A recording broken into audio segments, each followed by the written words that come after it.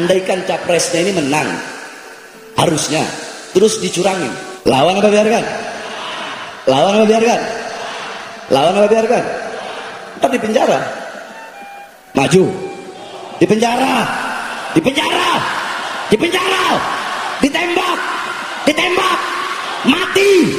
Nanti dibilang provokator. Siap lawan kecurangan.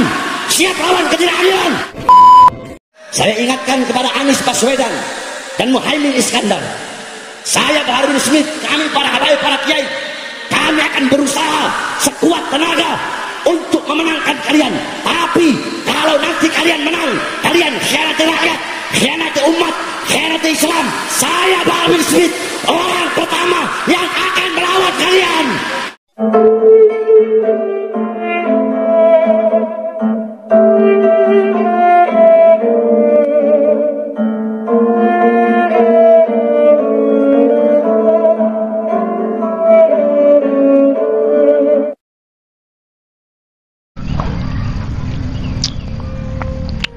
Assalamualaikum warahmatullahi wabarakatuh. Sahabat Nahkoda di mana pun kalian berada Semoga kita semua selalu dalam lindungan Allah subhanahu wa ta'ala. Salam persaudaraan dari Aceh untuk teman-teman yang ada di seluruh Nusantara dari Sabang sampai Merauke Dari Miangas hingga Pulau Rote. Salam untuk teman-temanku semuanya yang ada di seluruh penjuru bumi tentunya yang mengerti bahasa saya dari bangsa mana pun kalian, suku mana pun, daerah mana pun, salam persaudaraan. Untuk sahabat-sahabatku, rekan-rekanku, saudara-saudaraku semuanya baik yang membenciku dan yang mencintaiku kalian semua adalah saudaraku. Pilpres pada tahun 2024 semakin panas membara. Ya, setiap orang mempertahankan calonnya masing-masing yang mereka dukung. Banyak tokoh dan pengamat politik yang muncul di media sosial diundang ke podcast sana, diundang ke podcast ini untuk memberikan tanggapan ataupun penilaian terhadap capres dan cawapres ya tahun 2024. Oke, untuk menonton video ini jangan di-skip biar tidak gagal paham. Di kesempatan kali ini, saya ingin memutarkan sebuah video dari Bahar bin Semit ya yang secara terang-terangan menyebutkan nama Bapak Anies Baswedan dan Gus Muhaimin Iskandar ya capres dan cawapres nomor urut 01 untuk diperingatkan oleh Bahar bin Sumit dalam video tersebut. Di mana di dalam video tersebut Bahar bin Semit secara terang-terangan menyebutkan nama ya nama Bapak Anies Baswedan dan Gus Muhaimin Iskandar untuk diperingatkan. Andai kata nanti mereka menang ya terpilih sebagai presiden terus mereka berkhianat kepada rakyat berkhianat kepada umat maka Bahar bin Semit orang pertama yang akan melakukan perlawanan terhadap mereka. Jadi kurang lebih seperti itu ya. Oke, nanti akan saya tanggapi. Kita tonton dulu videonya seperti apa, jangan disukip biar tidak gagal paham. Ini videonya. Suara-suara kalian yang menentukan nasib generasi bangsa ke depan. Makanya jangan salah dalam memilih ikuti capres pilih capres yang telah dikeluarkan dari hasil istimewa ulama saya tanya semua masyarakat puncak berzikir. Jawab yang keras. Semuanya nanti besok 2024 siap dalam urusan capres. Pemilihan presiden 2024 siap kamu ikut komando imam besar. Siap ikut komando ulama yang lurus.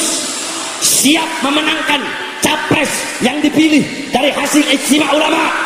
Siap memenangkan. Siap memenangkan. Andaikan capresnya ini menang harusnya terus dicurangin lawan apa biarkan? Lawan apa biarkan? Lawan apa biarkan? Ntar di penjara. Maju. Di penjara. Di penjara. Di penjara. Ditembak. Ditembak. Mati. Nanti dibilang provokator. Siap lawan kecurangan. Siap lawan ketidakadilan Allahu Akbar Allahu Akbar Allahu Akbar kami semua akan berusaha bersusah payah berkeringat keliling. Kami akan keliling Indonesia untuk memenangkan pasangan capres yang dipilih dalam istimewa ulama. Tapi ingat saya ingatkan kepada Anies Baswedan dan Muhaimin Iskandar. Saya Bahar bin Smith kami para habaib para kiai kami akan berusaha sekuat tenaga untuk memenangkan kalian. Tapi kalau nanti kalian menang, kalian khianati rakyat, khianati umat, khianati Islam. Saya bin Smith, orang pertama yang akan melawan kalian. Allah Akbar. Allah Akbar. Adil nggak kalau gini? Adil nggak? Iya, kita harus adil. Jadi suara-suara kalian yang menentukan nasib dan generasi bangsa ke depan. Paham? Paham? Paham? Oh, jadi seperti itu kalian sudah melihat, menyaksikan, mendengarkan bagaimana apa yang dikatakan, apa yang disampaikan oleh Bahar bin Sumit dalam video tersebut. Jelas sekali dia menggembar-gemborkan dalam video tersebut mengatakan bahwasanya andai kata capres yang mereka dukung ya, kemudian menang dicurangi, Bahar bin Sumit siap melakukan perlawanan Kemudian Bahar bin Sumit dalam video tersebut secara terang-terangan menyebutkan nama Bapak Anies Baswedan, Bapak Muhaimin Iskandar sebagai capres dan cawapres nomor urut 01 tahun 2024. Ya andai kata nanti mereka terpilih terus berkhianat kepada rakyat, kepada umat, Bahar bin Sumit orang pertama yang akan melakukan perlawanan. Jadi seperti itu kurang lebih yang dikatakan yang disampaikan oleh Bahar bin Sumit dalam video tersebut.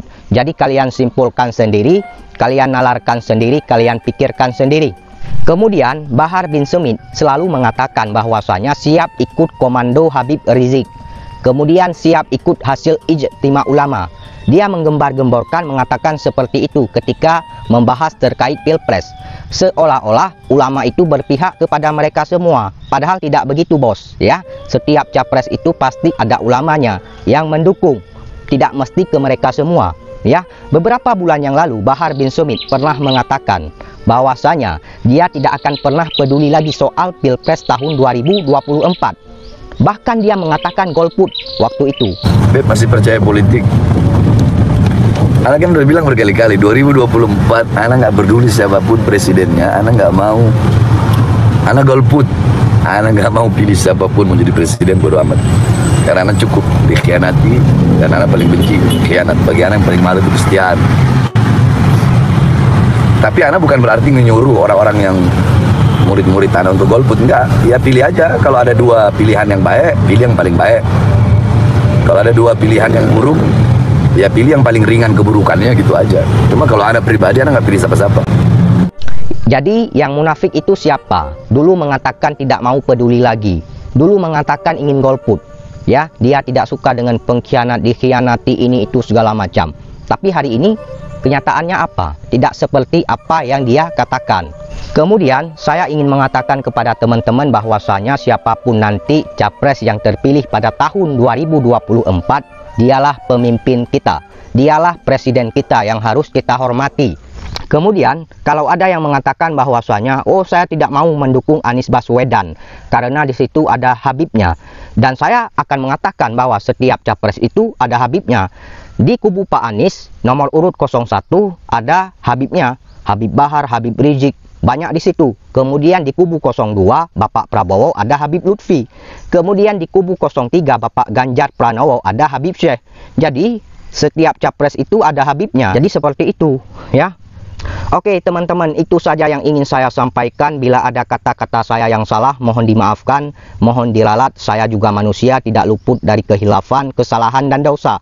Wahai saudara-saudaraku sebangsa setanah air Mari kita bersatu, mari kita suarakan terus kebenaran. Mari kita lawan propaganda, fitnah dan adu domba.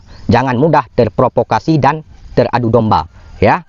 Masalah beda pilihan itu hal yang biasa ya. Karena ini pesta demokrasi, ajang demokrasi masalah kita berbeda pilihan itu hal yang biasa. Lawan dalam berpolitik itu hal yang biasa. Setelah ajang demokrasi selesai kita bersaudara lagi, berteman lagi. Ya. Oke, terima kasih. Wassalamualaikum warahmatullahi wabarakatuh.